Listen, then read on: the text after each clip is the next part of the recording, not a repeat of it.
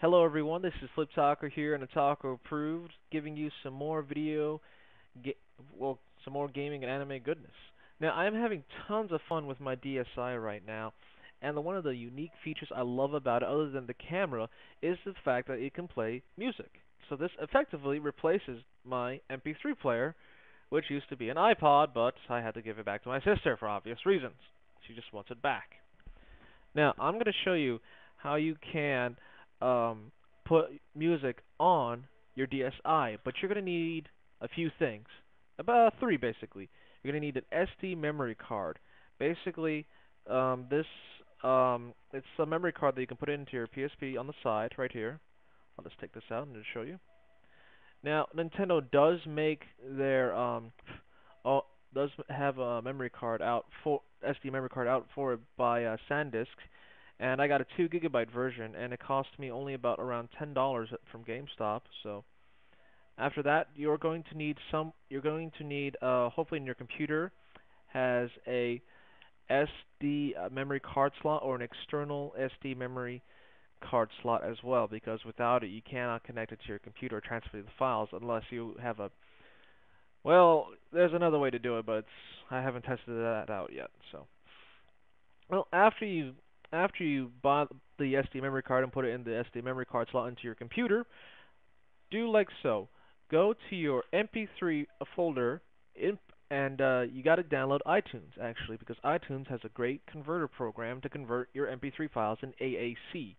Now they must be AAC, and if you already download songs from iTunes, it won't work on the DSi for some odd reason because of a protection. I tried that and it doesn't work, so they have to be MP3 format. Now, I'm going to actually show you um, how to do it. Now, let's go to screen here. Alright, we're in my iTunes right now. All you need to do is just go to Edit, Preferences, and then go under the General setting, go to Import Settings, and then go to uh, make sure this is on AAC Encoder. After that, you click OK, OK, and then all you need to do is just click on a song and then just create a AAC version.